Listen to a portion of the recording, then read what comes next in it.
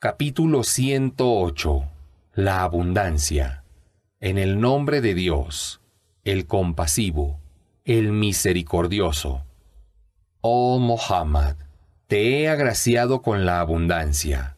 Reza a tu Señor y sacrifica los animales en su nombre, porque a quien te desdeñe y odie le privaré de todo bien.